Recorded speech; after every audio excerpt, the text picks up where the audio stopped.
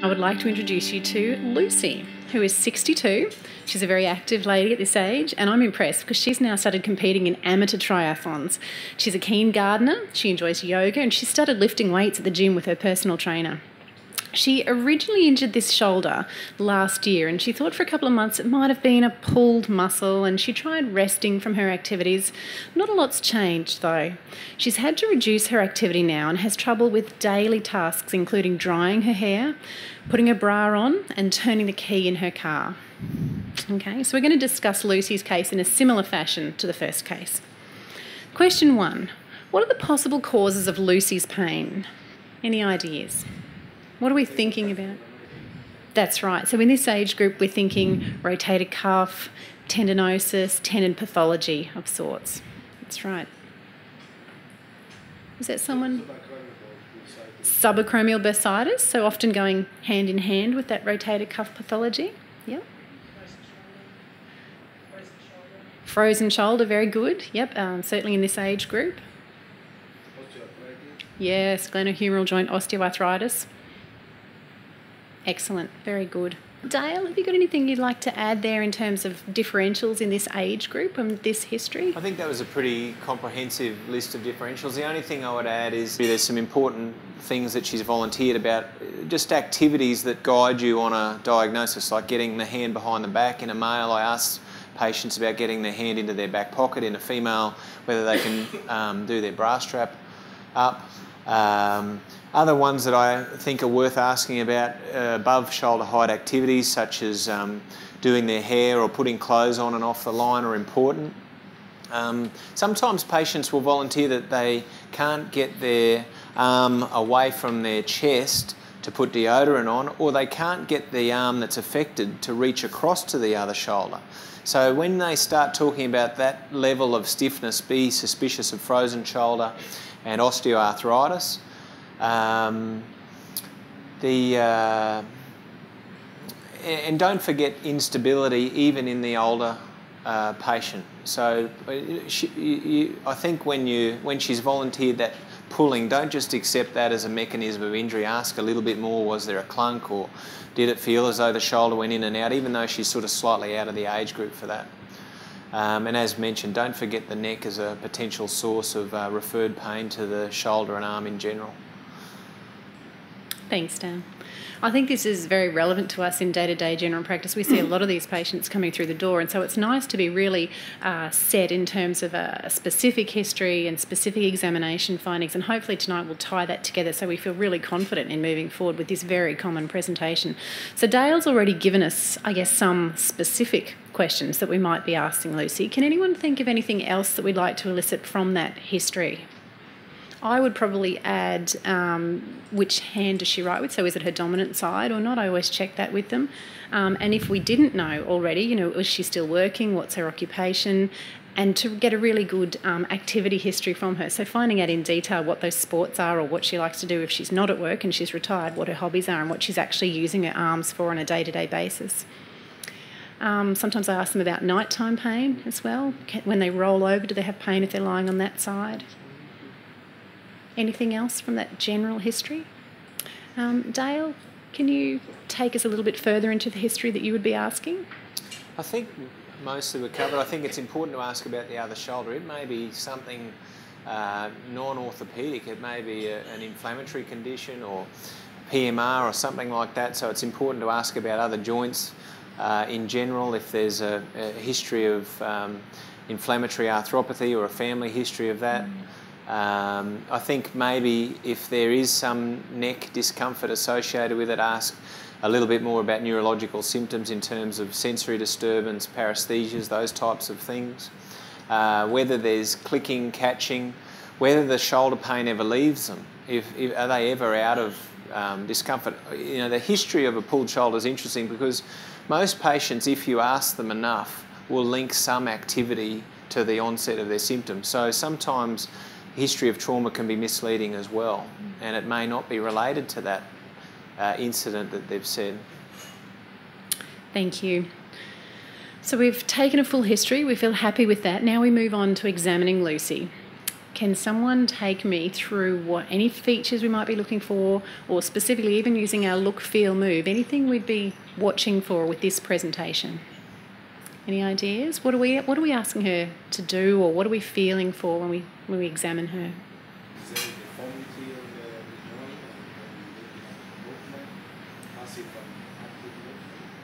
Very good. So that was excellent. That was inspecting her first, looking for deformity, and then taking her through movement, passive and active movements. And you mentioned crepitus when she's performing those movements, so that's excellent. Maybe looking for where she gets her pain if she's performing those movements. Is it in a specific position? Does she have that painful arc that we mentioned before? That's right. Dale, can you take us through what you would look for with a physical examination with this presentation? So, the same again look, feel, move, x ray, and on inspection to start off, looking for wasting, like, like we were in the sort of instability setting. Often the wasting is non specific for the pathology, but if you look closely, you'll not only see deltoid wasting, but in someone like this, have a look at their, um, have both shoulders so you can see uh, the muscle girdle, the shoulder girdle musculature, particularly the supraspinatus muscle belly. And if someone's got long-standing cuff pathology, you'll often see a shallowing out above their scapular spine. If it's, if it's more extensive cuff tearing or cuff disease, you might see their infraspinatus wasting below the scapular spine.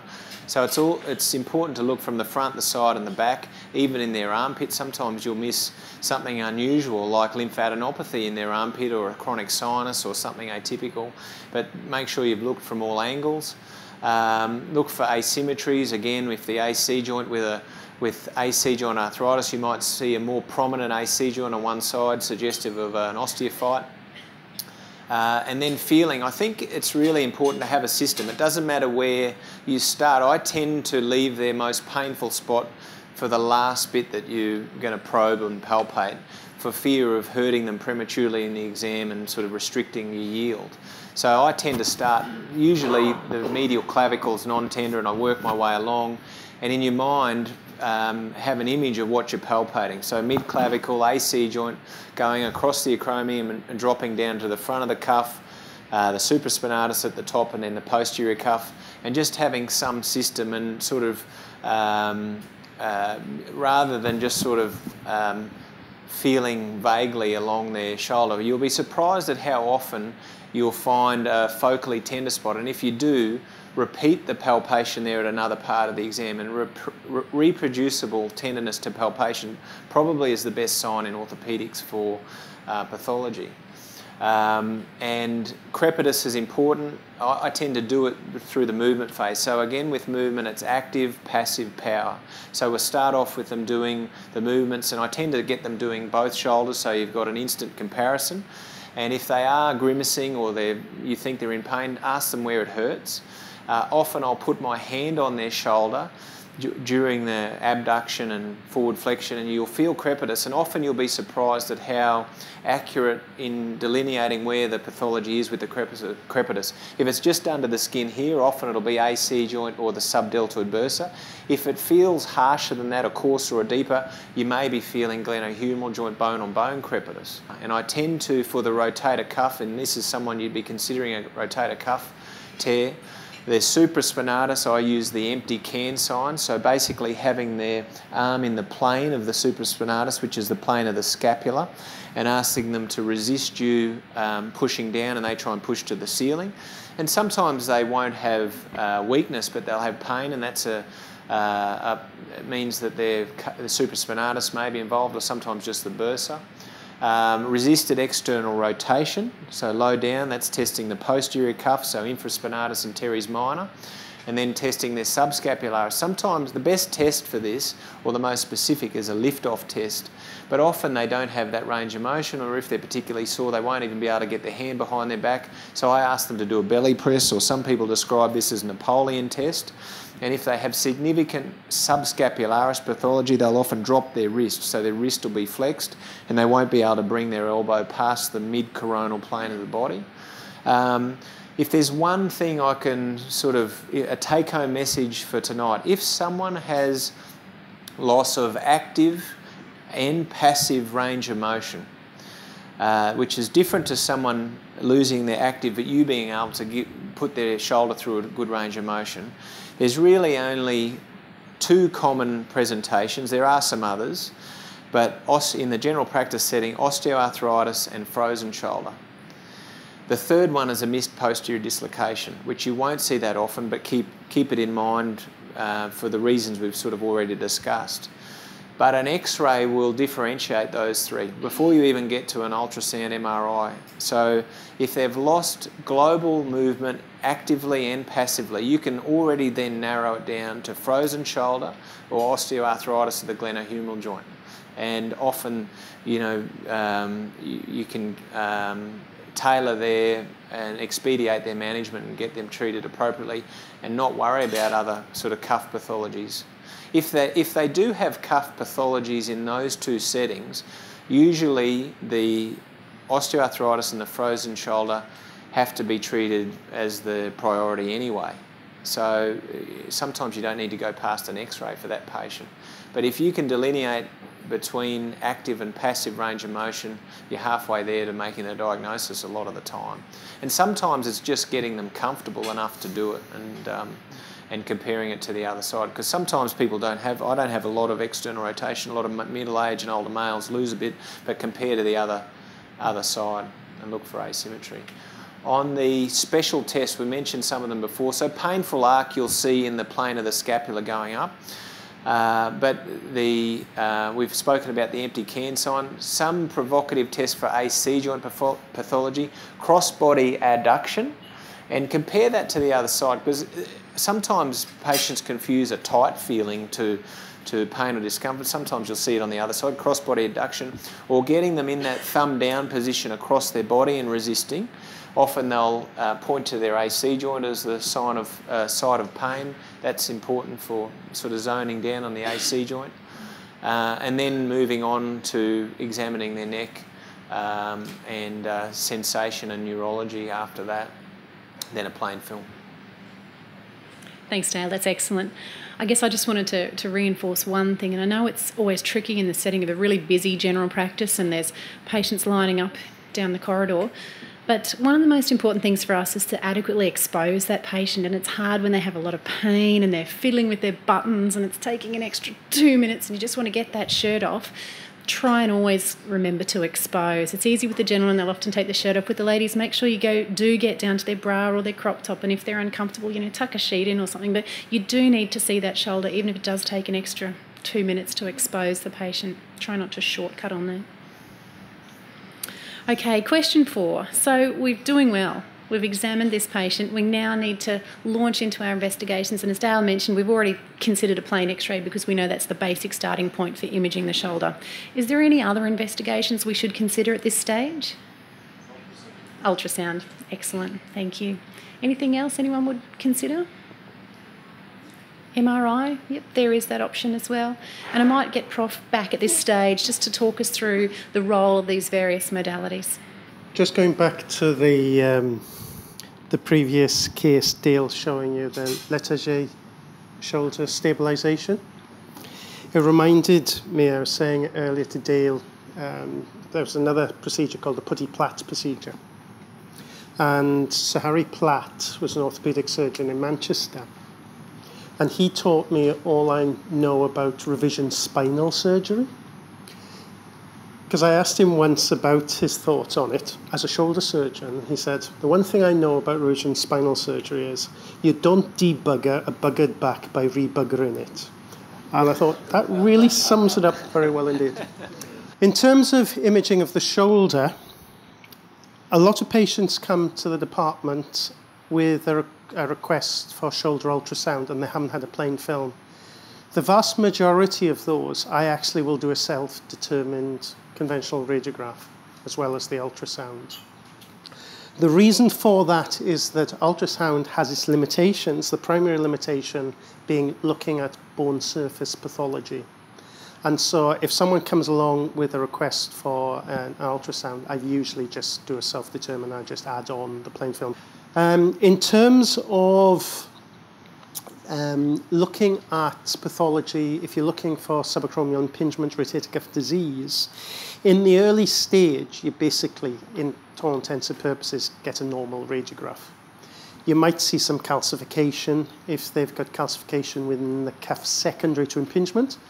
And usually rotator cuff calcification is secondary to impingement. If you actually do an acromioplasty and you take away the impingement, then very often the calcification will disappear in its own right. So it's there because of the impingement. Unfortunately, because of the mass effect and any swelling around the calcification, it can then make the impingement worse. So it becomes a vicious cycle. In terms of ultrasound, ultrasound is actually the best way of showing a range of early and subtle shoulder pathologies. It's good at demonstrating, I'll show you some, hopefully some dynamic ones in a second. This is a relatively normal rotator cuff. This one gets truncated at the edge. This one actually there's bony problem as well as truncation of the rotator cuff. So those are full thickness or extensive intrasubstance super, uh, supraspinatus tendon tears. You can do the same thing in terms of MRI, and the MRI will again show you this. In this instance, there's a huge gap in the supraspinatus tendon. The tendon that's there is supposed to be down here somewhere, and again a defect. So MRI will show it, but in the main, ultrasound will actually give you more information when it comes to patients with a painful arc. And that's for the simple reason that when you do the ultrasound study, you're essentially doing it as an extension of clinical examination. So if you're looking at early subacromial impingement, ultrasound will show it better than any other imaging modality. If you're looking at early rotator cuff tendinopathy, it's the same scenario.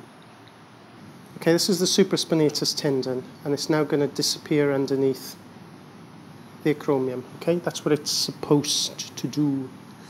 But what happens in the early pathology, if you've got early subacromial impingement, what happens is that the fluid from the subacromial part of the bursa gets squashed out into the subdeltoid part of the bursa. And that's the earliest sign that you'll see of subacromial impingement on ultrasound. But it's that dynamic bit that Dale was talking about that is the clue. If you look at the painful arc, if a patient's got painful arc due to subacromial impingement, it is usually between the 45 to 90 degrees of abduction range of movement. When you go above 90 degrees. It's not the supraspinatus tendon that actually is then acting, it's usually the middle portion of deltoid that's acting. If you've got painful arc above 90 degrees, it usually is because they've got high arc impingement, and it's usually because of pathology at the acromioclavicular joint. And usually, as Dale was saying, if someone's got AC joint pathology, the patient will put their finger there if they've got subacromial impingement and they've got bursal pathology, because of the referred pain to the bursa, they'll usually point to pain across the, uh, in that region. And so I try to teach my sonographers to actually use that information to try and enhance the dynamic part of the study that they're doing. And one of the things that I train the sonographers to do is not to give up on patients' movement because sometimes patients won't go through the range of movement because of pain inhibition and because pain they won't let you. So you've got to get the patient to completely take the weight so you can take your arm up. And so by doing those clinical assessment maneuvers but with a transducer on the patient, you can see what the tendon is doing. You can do what the soft, see what the soft tissue structures are doing at the same time as you're doing that clinical assessment. And you can then divide it up. Because if someone's got subacromial impingement, they've got loss of active ad abduction between 45 and 90 degrees. But they've got normal passive range of movement. If you've got a severe adhesive capsulitis, then you will lose active and passive range of movement. In terms of high arc impingement, they'll have pain above 90 degrees. Usually I do it so that I get them to take their arm across to touch the other shoulder, and the patient will often say, yes, that hurts, and it's hurting beneath where the transducer is, because the transducer is over the uh, a, the AC joint at the same time. Okay. So by using the pattern of active and passive motion combined with the sonography, you can usually differentiate fairly accurately between those range of disease processes. So demonstrated well on ultrasound but not MRI is the ad early adhesive capsulitis and high arc AC joint impingement. Now this is for high arc impingement, this is the acromioclavicular joint. And as I'm getting the patient to take their arm across, what's happening is the two ends of the clavicle come together and this black blob that's on top that gets squashed out is actually the synovium and the joint capsule from the AC joint. So the joint normally starts off planar, and then as you get them to take their arm across, then the clavicle and the acromion become more opposed, and they'll squash the soft tissues out between the two of them. Now, that actually is a common phenomenon. Uh, just because they've got it doesn't mean it's a symptomatic AC joint and arc impingement. But if they've got that and they say, yes, there's pain underneath the transducer, then that usually is fairly accurate. And it's relevant in terms of what I then subsequently do. Because if I'm asked to inject the shoulder, if I see pathology like that at the AC joint, I will inject that as opposed to injecting the bursa. Now, maybe they've got both pathologies, but not necessarily. Okay, in terms of adhesive capsulitis, this is now in transverse and this is looking at external rotation. And the first clue for me from images as to whether someone's got an adhesive capsulitis is whether I can see subscapularis. Because for a sonographer to see subscapularis properly, they've got to be able to externally rotate the humeral head to bring subscapularis parallel to the skin surface. Usually, uh, in a frozen shoulder adhesive capsulitis, the first thing to go and the last thing to come back is external rotation. This is now someone, that's the supraspinatus tendon there at the top, and you can see that it's staying there, okay? This, that supraspinatus tendon is supposed to go underneath the bone. It's not going underneath the bone. And what will happen in those circumstances, you'll get the patient to move like that, and it looks like the patient's still moving they're still able to abduct the arm, but there's nothing moving beneath the acromion.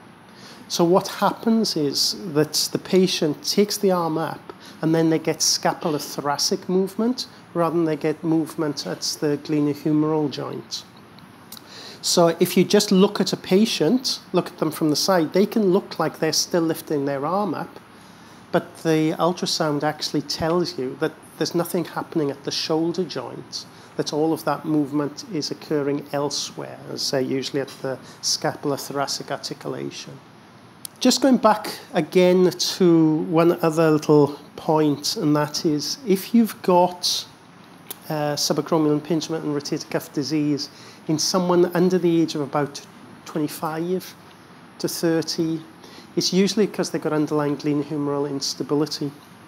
And I usually then get the sonographers to do some of the common tests, the five common tests for joint hyperlaxity. You can also sometimes see things such as this is an os acromiale, and a symptomatic os acromiale can be another cause of subacromial impingement, rotator cuff tendinopathy in a relatively young individual. And the CT has the role of showing the bony spurs at the margin of the acromion, or show the os acromiale.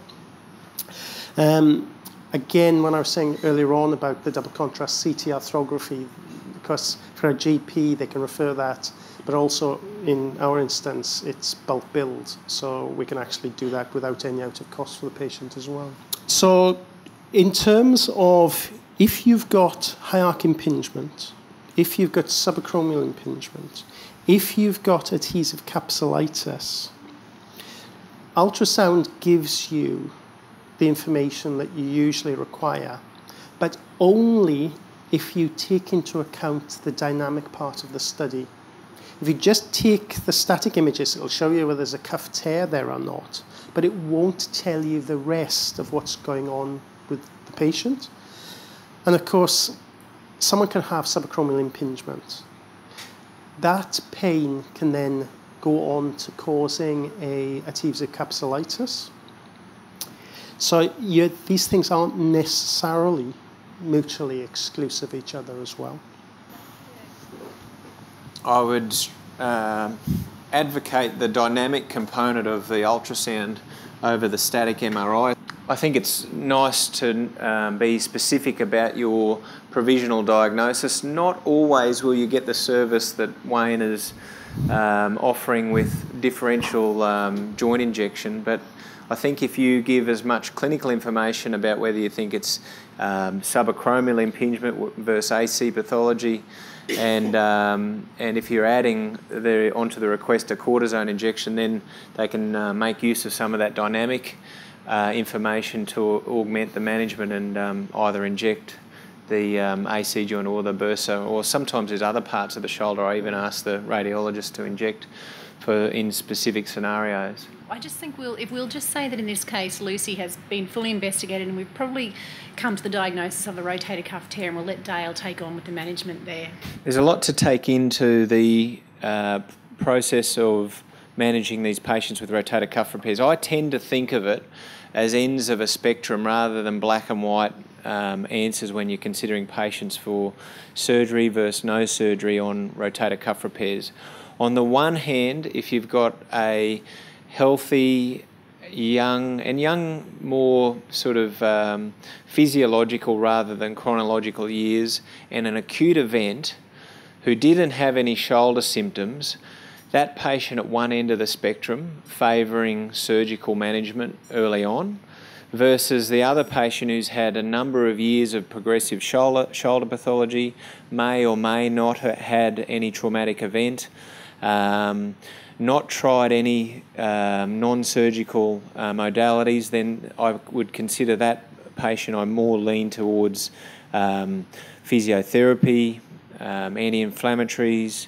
Uh, um, one uh, or more corticosteroid injections, and consider them for surgery only if they'd failed an appropriate uh, non operative course of management. Um, unfortunately, most patients fall somewhere in the middle. So um, uh, you tend to have to use a little bit of um, clinical acumen in how you manage them. But generally speaking, if it's a traumatic event in an otherwise healthy patient, I would be considering those for surgery. If it's um, progressive pain without any history of trauma, especially in an elderly patient with a number of comorbidities, then I'd be looking towards maximising their non surgical management. Did anyone have any um, questions about management of rotator cuff tendon tears? Can, can I actually ask a question? Yes. Um, I quite often get requests for uh, injection of shoulders. And I get them say, you know, queer rotator cuff pathology, if there is pathology, to inject. Now, on a number of those, I actually don't inject, even though they've got subacromial impingement. So, for instance, someone's a 45 year old painter and decorator they're starting, they've got subacromial impingement and they're starting to tear that cuff.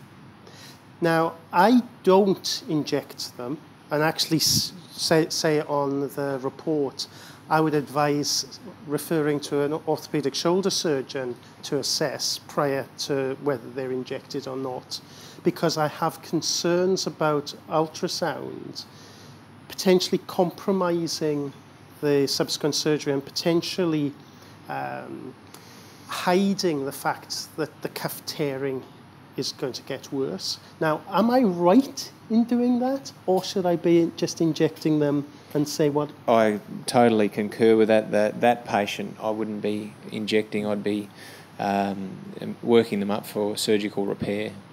And that's what it gets down to. You said about the clinical acumen bit. I think that it has to be taken all the time into context of the patient.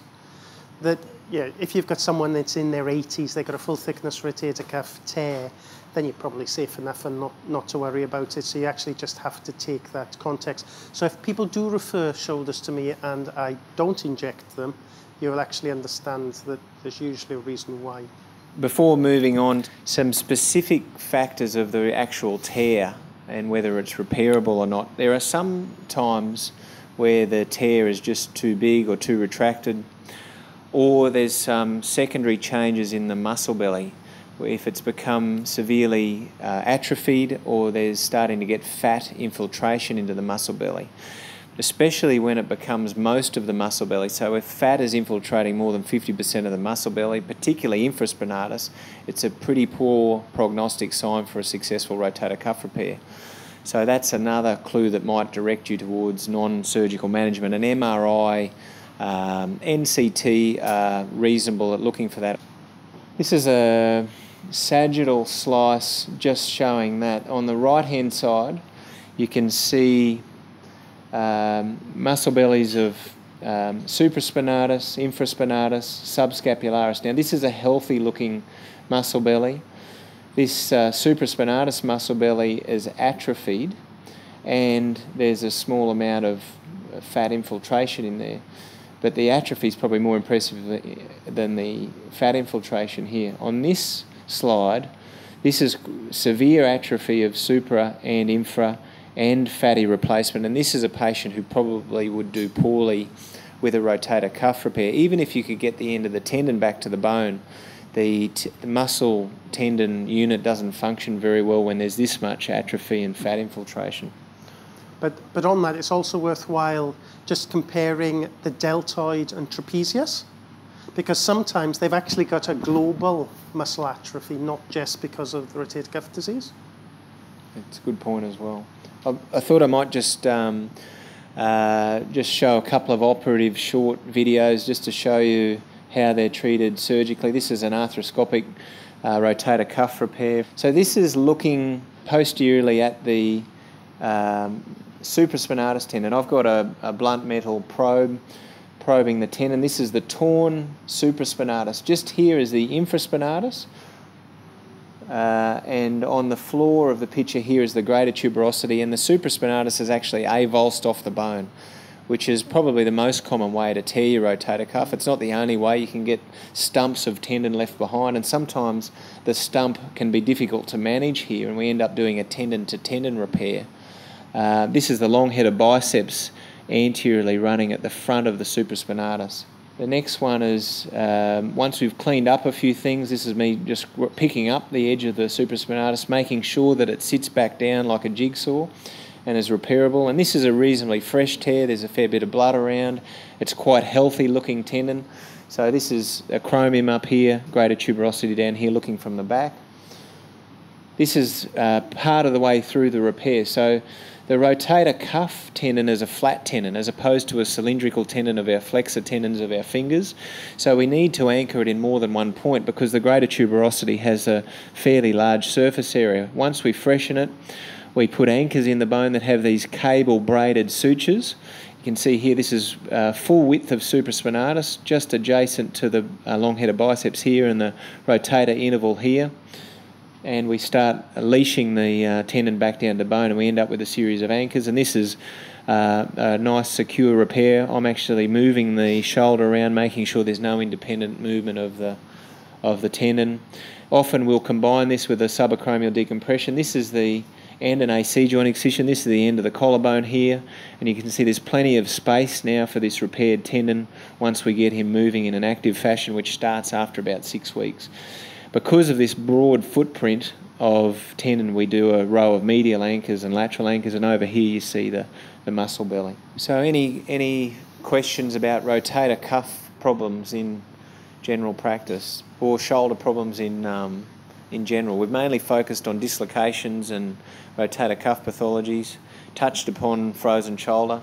It's always bear, worth bearing in mind frozen shoulder, and as um, Professor said, there's often an overlap between impingement cuff disease, and often they'll start out with impingement, and they'll end up with a frozen shoulder overlapping or becoming the most, uh, uh, the biggest part of the presentation.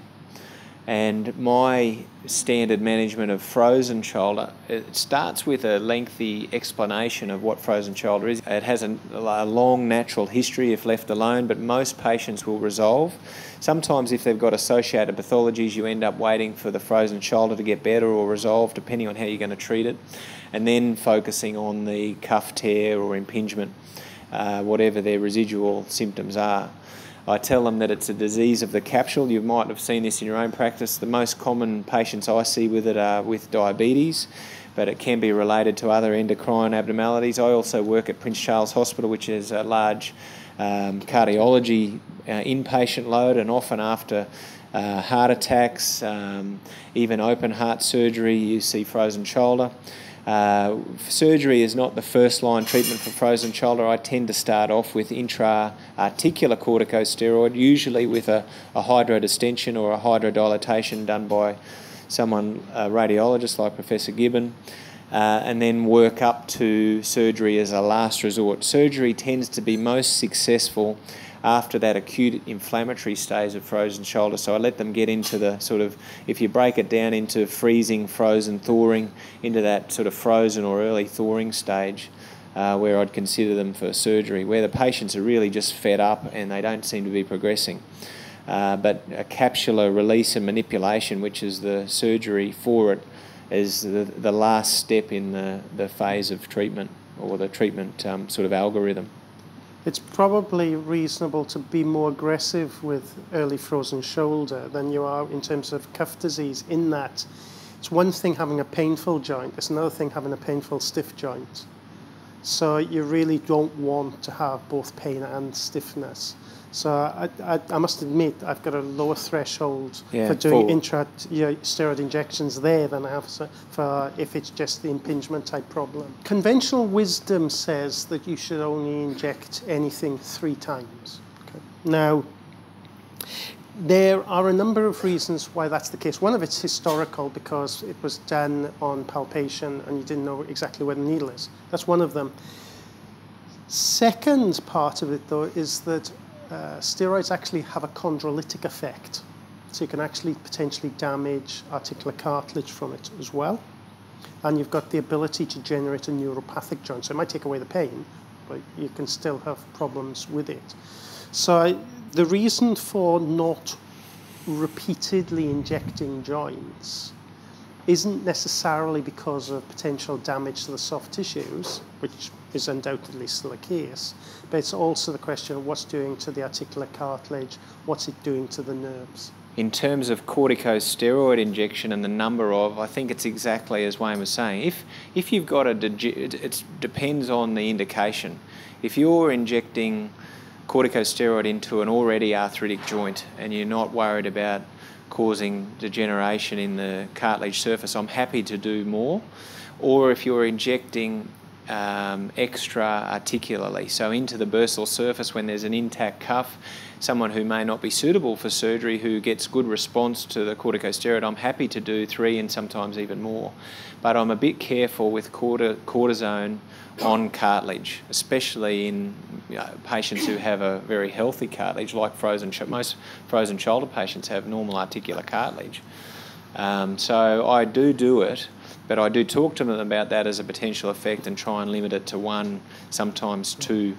Um, and that's in, that's in terms of the shoulder. When you're talking about weight-bearing large joints, such as the knee, the hip, and the ankle, you should be even more circumspect about injecting intra-articular steroids. So yeah, in the knee, very happy to do multiple extra-articular joint injections for PES, anserine, bursitis, and other extra-articular pathologies. But if someone's got otherwise healthy cartilage, you exactly limit the, the number of corticosteroid injections.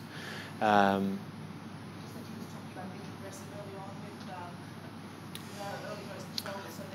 well, I think you can you could even be aggressive with the hydrodistension mm. on if if patients get some benefit from that, uh, or uh, have had no benefit from it um, but are not wanting to go ahead with surgery or still really bothered by pain and stiffness, I'll, ha- I'll, I'll have no hesitation in just sending them for hydrodilatation without the corticosteroid.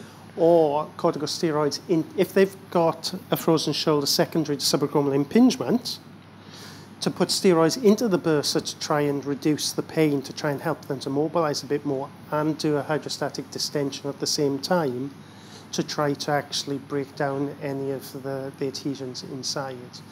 And I say it, it, it, it is right about trying to minimize the amount of intra-articular steroids that someone gets. It's never quite that easy because if someone's got a full thickness rotator cuff tear, even if it's a pinhole, and I put steroids into the bursa, that will actually work its way through into the glenohumeral joint. So sometimes you'll get it in the glenohumeral joint, even if you know you've injected into the bursa. So, sonographically, 80% of 80-year-olds have got a rotator cuff tear, okay, and not all of them have got symptoms in terms of their rotator cuff. It's like everything. It's trying to correlate what you see in imaging, what you see in clinical findings, you know, to try and marry the two of them up. It's the same with spinal cases. You might see uh, L5S1 disc. What's the relevance if it's actually that they've got uh, L3 pathology on the opposite side? It's the same in terms of trying to correlate what you see sonographically, what you see on MR, with what someone like Dale is actually seeing clinically. So I think if you marry the history exam and the imaging studies and it adds up to impingement and they're bothered by it, then consider them for treatment. But isolated impingement reported on dynamic ultrasound that doesn't fit in with your history and your clinical exam, I wouldn't treat them as impingement. I'd, I'd fall back on your clinical acumen.